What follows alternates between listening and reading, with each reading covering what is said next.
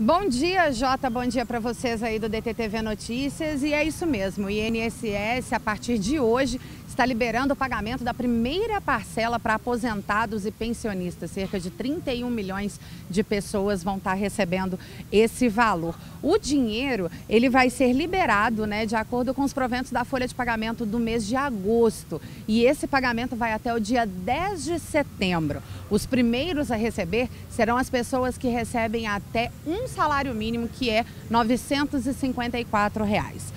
Sobre essa primeira parcela que está sendo paga a partir de hoje, não vão incidir nenhum tipo de imposto. Então a pessoa tem que ficar bem atento. Esse imposto ele só pode ser cobrado e só vai ser cobrado a partir da segunda parcela. E vale a pena também ressaltar, destacar que o imposto de renda ele só será recolhido nessa segunda parcela. Nessa primeira parcela ainda não.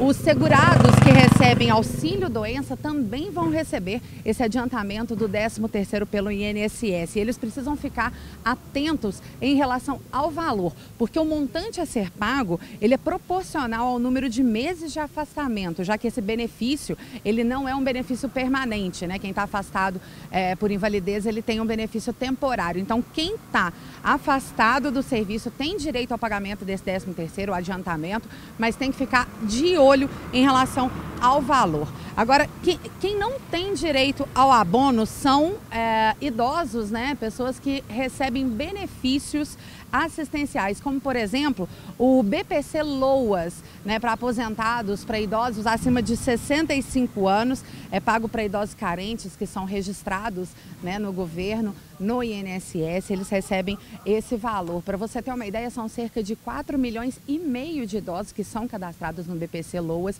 e recebem um valor assistencial do governo. O adiantamento, como eu falei, é a primeira parte né, do 13 terceiro, as pessoas, os beneficiários que desde 2006 vêm recebendo já podem procurar o INSS para saber como recolher esse dinheiro. Afinal de contas, está chegando o final do ano, todo dinheirinho é bem-vindo, não é isso? A gente volta com você aí, Jota.